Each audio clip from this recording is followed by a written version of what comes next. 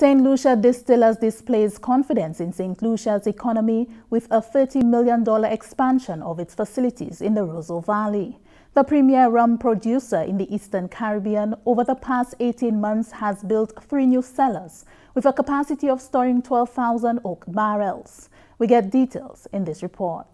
Prime Minister Honorable Allen Chastanet headed the list of dignitaries, which included Bernard Hayot, the president of Group Bernard Hayot GBH, the parent company of St. Lucia Distillers.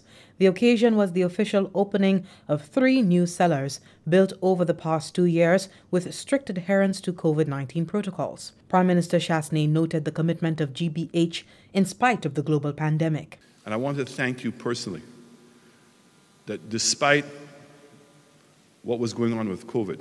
I am one person who does not take your commitment and your continu continuation for granted. I want to thank you very, very much.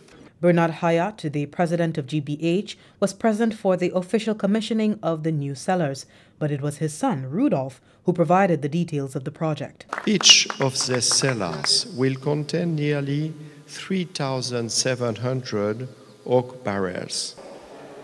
They will bring the total capacity of St. Lucia distillers to more than 12,000 barrels.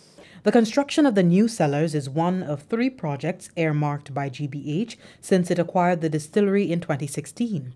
The first ensured that award winning rums produced by St. Lucia distillers got profiled and marketed globally. Another project is the development of a rum and heritage attraction in the Roseau Valley. This was welcomed by Member of Parliament for the area, Honourable Dominic Fedee, who is also the Minister for Tourism. While we can boast of some of the finest beaches in the world, I think what makes us really sexy is to say to the world that we also have some of the finest blends.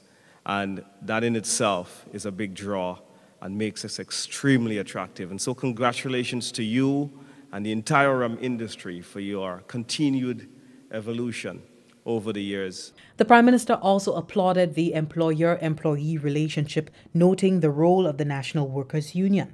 I'm very happy to see the relationship that you've developed with the workers. Um, this is a very important aspect to what we do in our country.